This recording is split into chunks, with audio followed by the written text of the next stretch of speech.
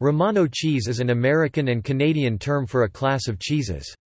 They are hard, salty cheeses, suitable primarily for grating, similar to Pecorino Romano from which the name is derived. In spite of the name, it should not be confused with genuine Pecorino Romano which is an Italian product recognized and protected by the laws of the European Community, though United States law allows Romano produced entirely from sheep's milk to be called Pecorino Romano.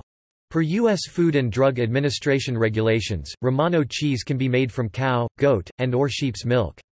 It must contain less than 34% water and at least 38% milk fat.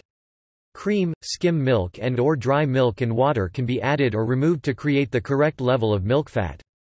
Milk can be bleached with benzoyl peroxide or a mixture of benzoyl peroxide with potassium alum, calcium sulfate, and magnesium carbonate but, in that case, vitamin A must be added after treatment. Safe artificial blue or green coloring may be added only to counter any yellow coloring of the milk.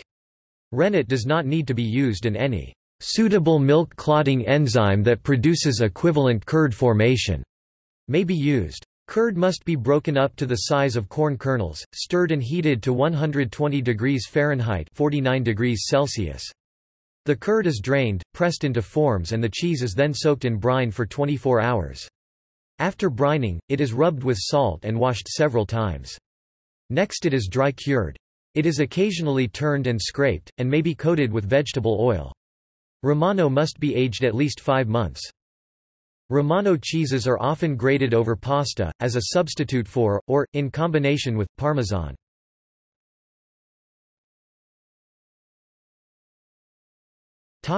See also Pecorino Romano, Italian cheese from which Romano took its name